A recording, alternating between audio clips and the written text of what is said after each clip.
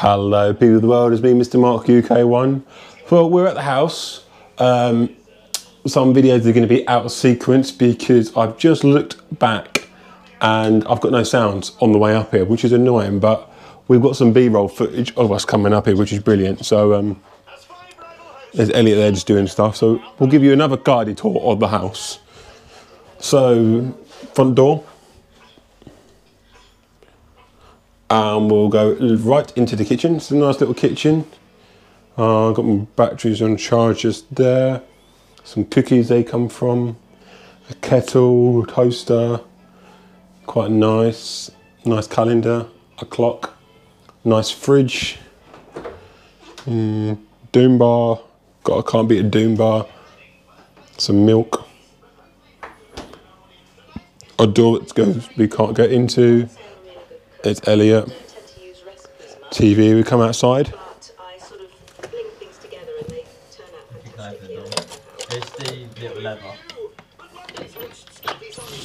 There you go.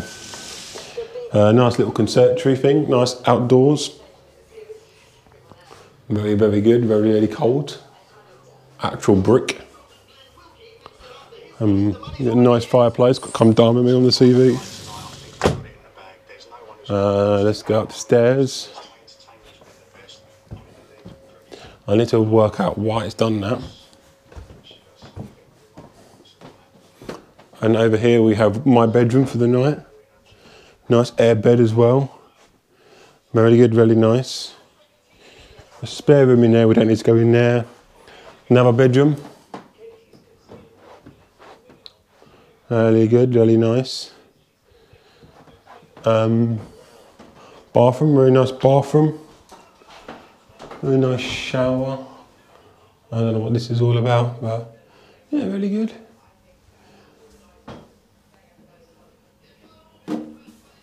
Oh, I don't want to. Oh, hold on. Hold on. It doesn't work. Um,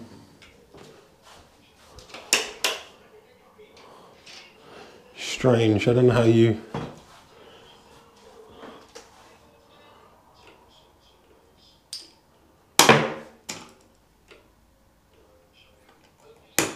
Hmm.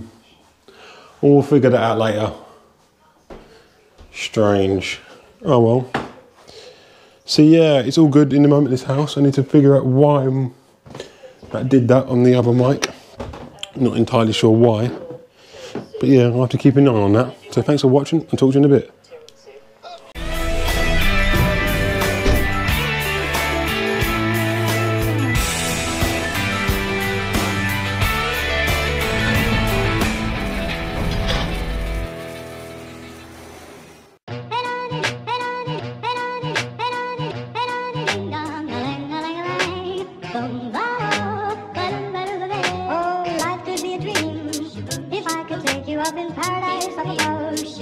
You would tell me I'm the only one that you love, life could be a dream, sweetheart. Hello, hello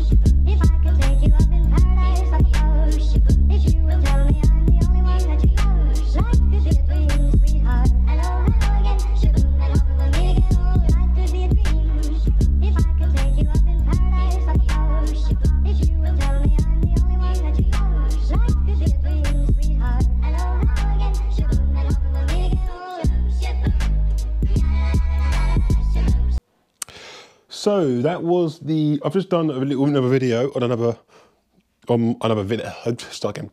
I've just done another video uh, trying out one of these whiskey sours things that my friend Louis asked me to do a review. it's not the best review because I'm not good at doing reviews. So, but to be fair, it's actually quite nice. Um, it is eight percent, so I've kind of got to watch myself. Um, so we just ordered some fish and chips, and Elliot, Yeah. can we like? So we're on this order, um, Chris's fish and chips. Yeah.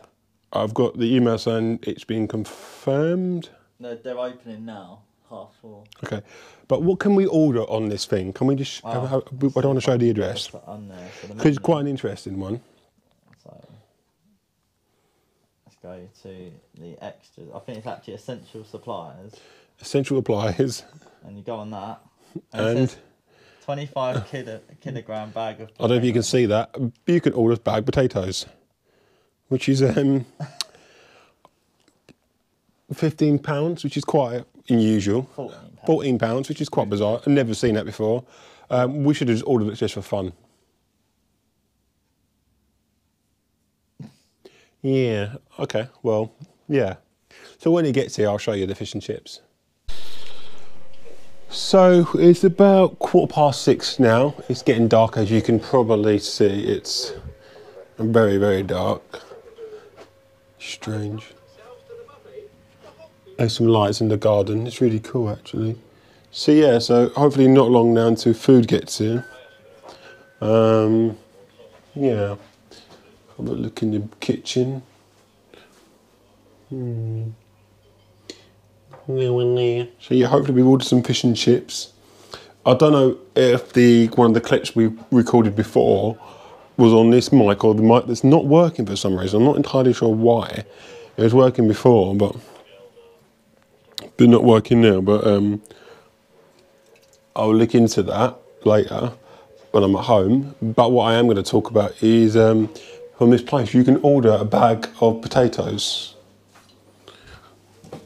weirdly enough, which is kind of strange. Ordering bag of potatoes, someone's messaging me. Who's messaging me? Uh, Snapchat. So yeah, hopefully not long now till some food gets here. Uh, there's a car pulling up, so I think this could be it. That's going to put you down and answer the door when it knocks. Got the bit with me how you had a poo. No, I, well, I have now. I have now. Well, you just said it. You said it, not me. No, you said it. We'll play back the camera later. One second.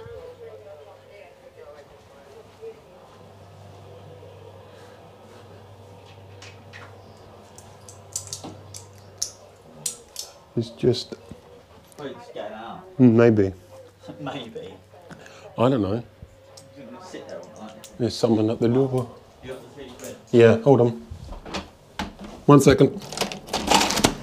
Hello there.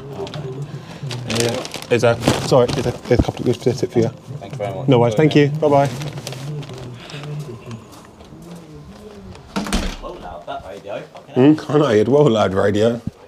There's some chav. Some chav? Yeah, some chav. So we're going to eat this and see in a bit.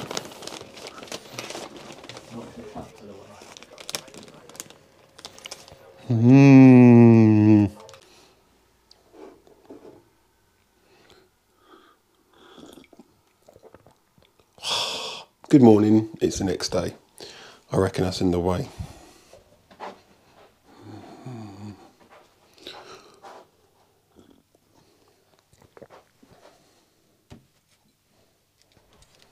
So yeah, it's the next morning. It's you, can see it's daylight. Elliot's still asleep. I think he'll be up in a minute because it's eight o'clock, so he should be getting up. Um, we're leaving in about an hour. I wonder if any album wants. Uh, no, my car's still there. That's good. Not too bad sleep actually. I was on an airbed, um, which was actually alright.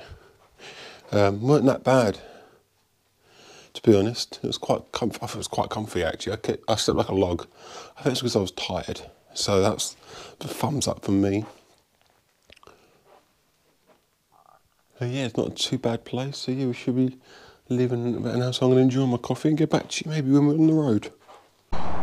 So, so we have finally made it to the Great British Car Journey, where the British Road begins. So we've got some classic cars over there, which we'll be driving in a minute. Uh, we're here. The car did quite well actually. It's still quite clean actually.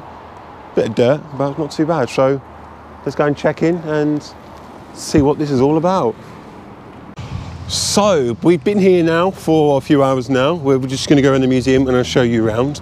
We're um, we've done the tape record. I've just done my drives as well. Well, there's a Reliant Robin just going over there. Um, I've just driven that. Um, that's that was the easiest one. I, I was surprised how easy it was to drive. Um, Elliot couldn't come with, could you? No, well, I could have, but he would he probably Yeah, would have rolled it. yeah. But also, If I kept moving around, Yeah, drove an Austin 7, stalled it a couple of times, which I knew I would, and the Hillman Imp, which was fun. Uh, I'm trying to find the gears. So yeah, we're going to go around the museum. I'm going to take you with me, but I think I might need to change a battery before we do that. So uh, bear with. So we are now here in the museum. This is the Austin part. You can get a little tablet thing. Talk, so it tells you about the Austins. You've got a QR code just there. And so we've got an Austin 7. This man here was the inventor.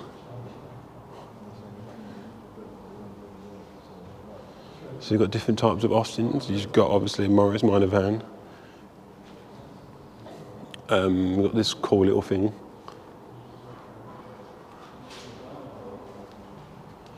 Look at the seats on this. So you literally sit backwards. I don't think I would like to drive this. That's um, yeah, and the wheels. Try driving out on the M25. Even seats on the front. That's cool.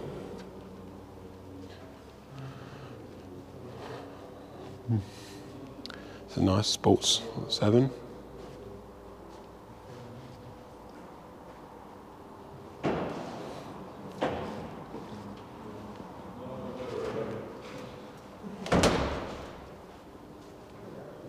Now we're going to section two. Nice little camper van. It's quite interesting, really. There's nothing. There's only a couple of beds in there. How basic is that? Pretty cool. You just got to rely on wheel. Cool car. No.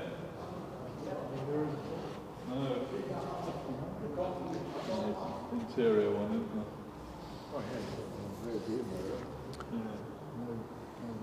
No, no.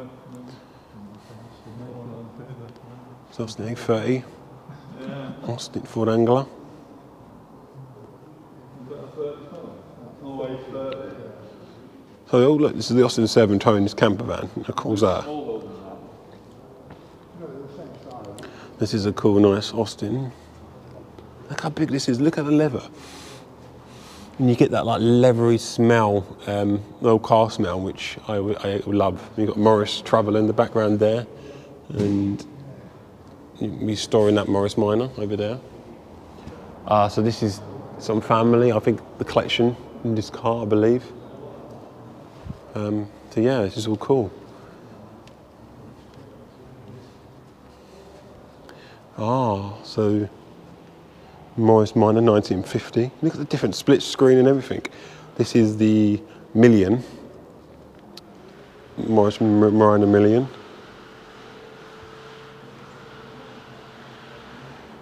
White leather seats.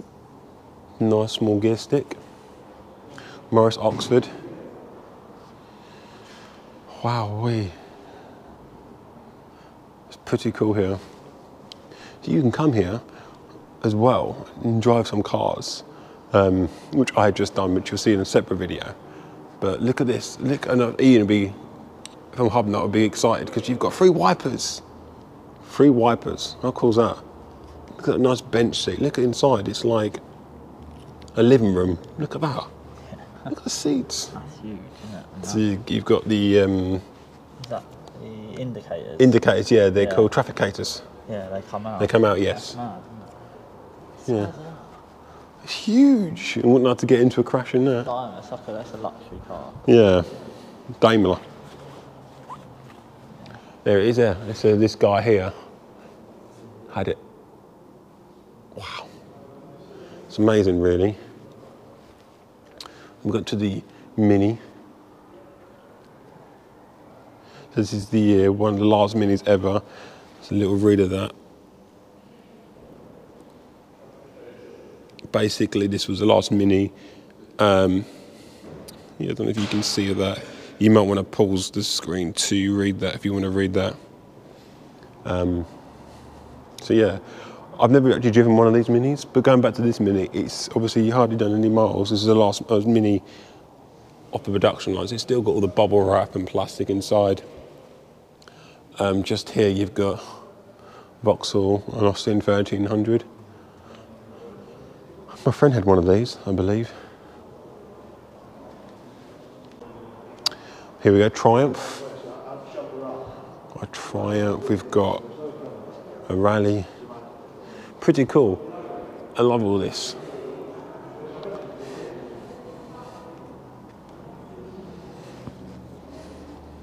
Morris Mini Mini Traveller. So obviously you got the Austin Traveller, the and the, the, the Morris Traveller. You got the Mini Traveller, but it's same like the Mini, but slightly smaller. The nickname the Woody, actually.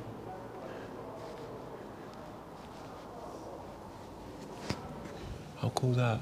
Uh, it's, it's got a um, what's it called? Column change. Yeah. Not many people to do column change. I do. Ford One Escort, Ford Escort Mark One. Sorry, I believe my uncle had one. It was in a Mark Two. I'm not entirely sure.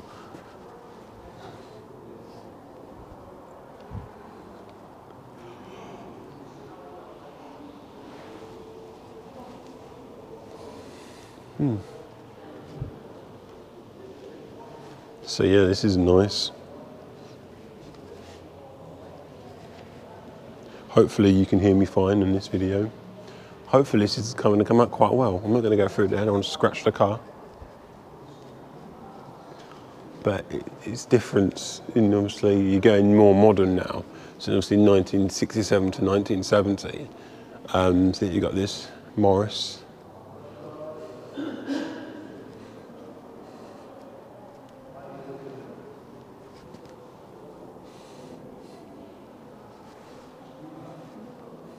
This is this is this car I was looking at earlier. It's kind of a strange one.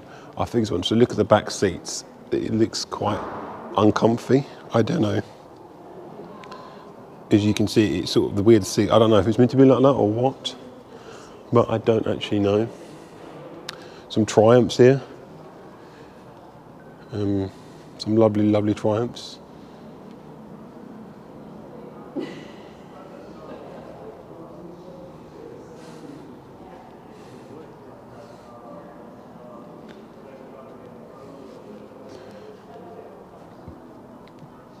Daimler.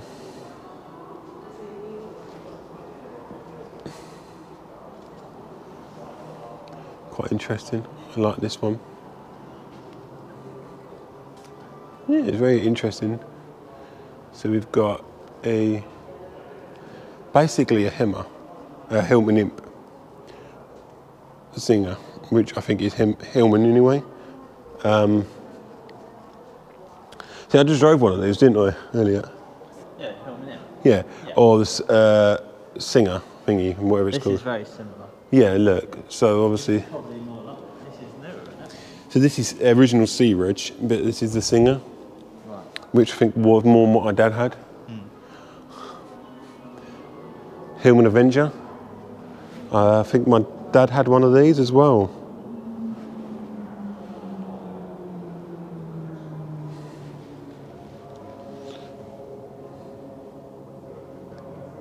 Look at the uh, thingy. Um, I can't get that side. I don't know if I can get down there, but um, so look at this like American car, but it's not. It's a um, oh, what's it called?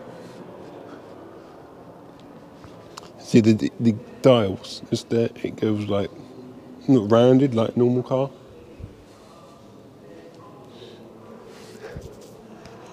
Oh dear! Wow. Pretty. Uh, it's not. It's not many. It's not quite not many cars here, but it's enough.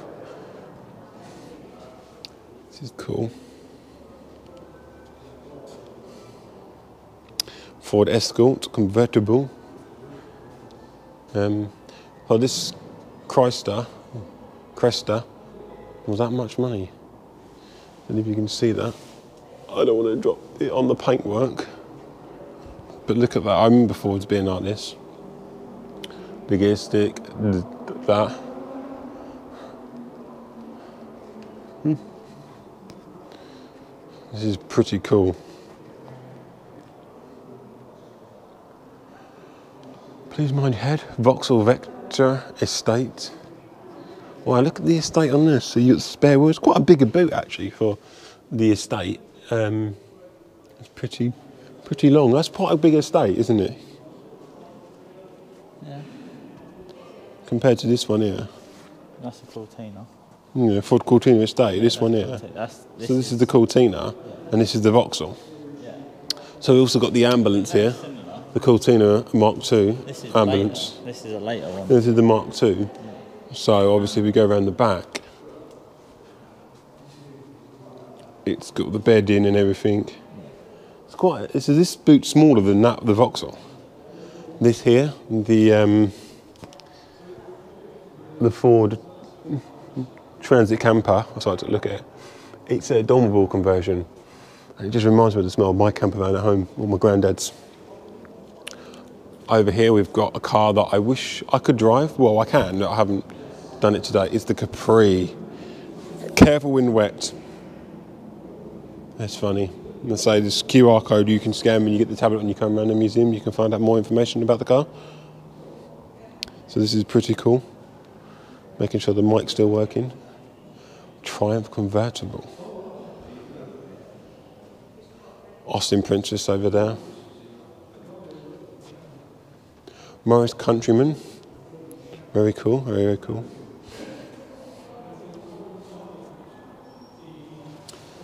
Is, There is a, a cafe on site which you can uh, get some food and some drinks. I was looking at this car. This is a Daimler limousine. Harrison, if you're watching, you're going to love this. So look how huge this is. Um,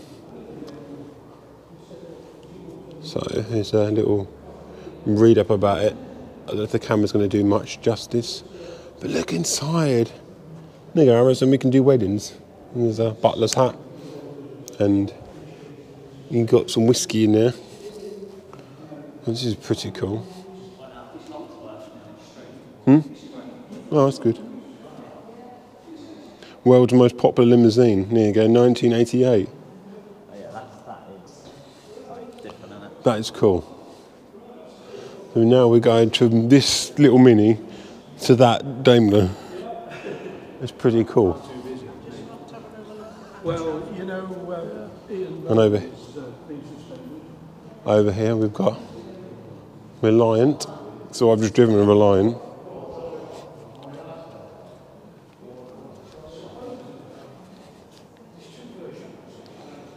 Pretty much the same. The gear stick is the same. Um, the seats look more comfier, and the steering is slightly different. Elliot, this is the Reliant. Yeah.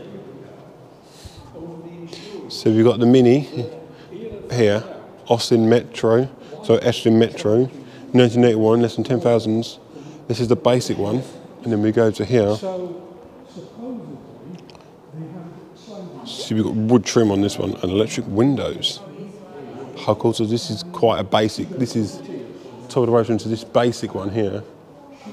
I can't get too close. Metro. Yeah, metros.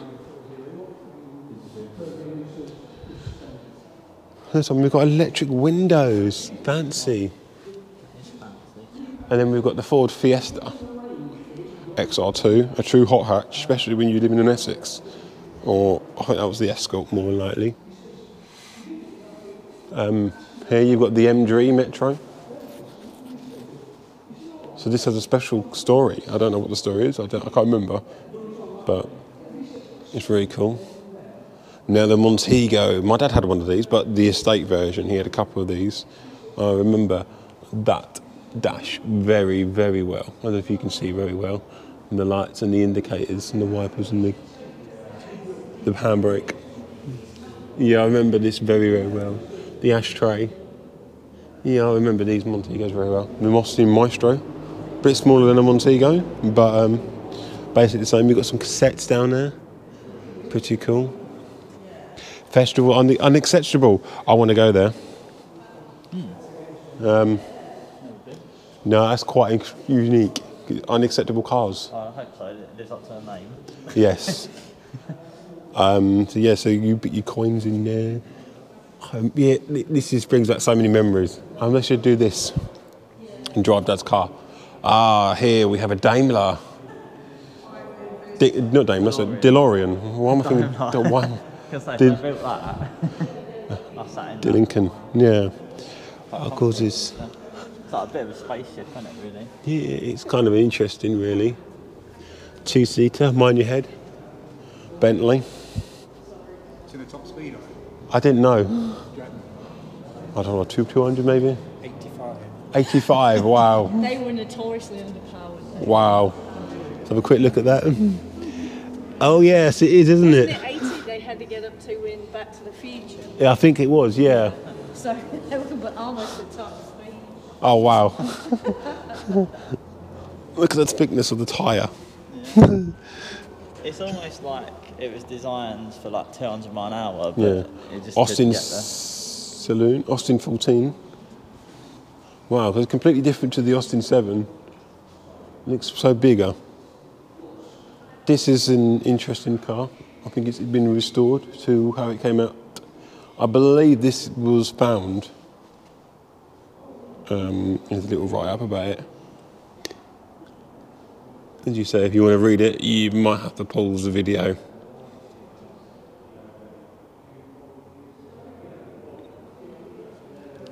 Yeah, I don't know. Um, so, Rolls Royce. Oh yeah, we've got a few Fords, uh, Sierra, and a Cortina down here. Very cool, very cool. Rolls Royce, Rover 200. Very popular in the day. You don't see many of these around, do you now? The Rover 200, there. No. the Rover 75. These are nice. I know Ian had one. Um, the Range Rover, very expensive to run. Now this is a famous car because I had one of the. Well, I had the Rover 25 of the version. So before we go, I quickly missed this this beast. Look at this old Landy Defender. They're fun to drive. I've driven one of these. Um, free pedals. Something you drive around the Amazon. Yeah, basically, you, you this is obviously military. Watch it, don't break it, Elliot. Land Rover Mark 1, 1949. What are you doing, Elliot? It still works. Well, of course it does. Wow, so that's pretty cool. Some of the old military stuff, and it's got that military smell. Yeah, I know what you mean. This is um. No, no, no, no. I mean, I don't think it's supposed to snip. Okay, and I don't know what happened there. My camera decided to stop recording. Anyway, I'm going to end this video now. So thanks for watching. Hope you enjoyed my experience at the Great British Car Journey. Don't forget you get to see the other videos in the next few weeks of me driving these cars. One of the videos could be a bit corrupted, but it's one of them things. Thanks for watching, and I'll see you in the next video. Bye for now.